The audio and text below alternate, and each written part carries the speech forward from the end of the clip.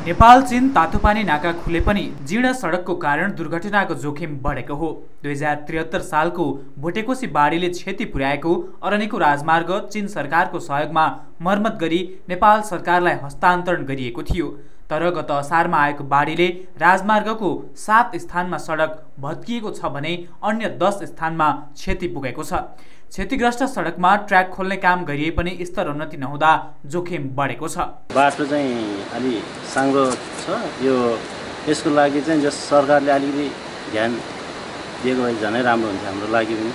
हाम्रो ज्यानको लागि सुरक्षा हुन्थ्यो अहिले चाहिँ हामी चाहिँ अब रिसिभी जस्तो पनि गर्नु गयो गयो जस्तो लाग्छ। बाटो चाहिँ एकदमै कोही ठाउँमा चाहिँ अब मुनि ढन्डर परेको भएर जस बढी लोड हालिँदाखेरि चाहिँ हामीलाई धेरै डर हुन्छ। सडक मर्मत नहुँदा सामान ढुवानी गर्न समस्या भएको व्यवसायीहरूले गुनासो गरेका छन्। सडकको दुरावस्थाको विषयमा सरकारी निकायलाई ताकेता गर्दा समेत चासो नदिएको सिन्धुपाल्चोक उद्योग वाणिज्यले बताएको छ। गाडीहरू एकदम धेरै चापमा चल्ने भएको हुनाले चाहिँ बाटोको स्थिति एकदम नाजुक छ।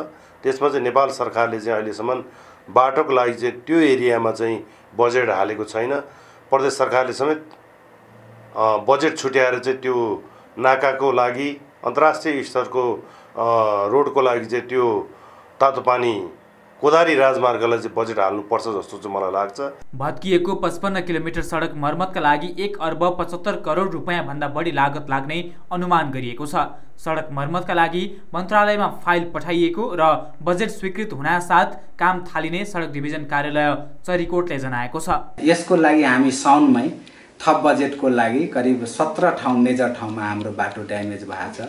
त्यसको इस्टिमेट एक करोड पचहत्तर लाखको हामी इस्टिमेट गर एक अरब पछ सरी एक अरब पचहत्तर करोडको इस्टिमेट गऱ्यौँ र त्यो फाइल हामीले माथिल्लो निकायमा विभागमा पठायौँ। लामो समयको प्रतीक्षा र पहलपछि नाका खुले पनि सडक दुरावस्थाका कारण सामान ढुवानीमा समस्या हुने गरेको छ। कोरोनाले सृजना गरेको सङ्कटमा पल पल का न्यूज़ अपडेट र हर क्षेत्रको कभरेजका लागि। News twenty four Nepal YouTube च्यानललाई सब्सक्राइब गर्नुहोला।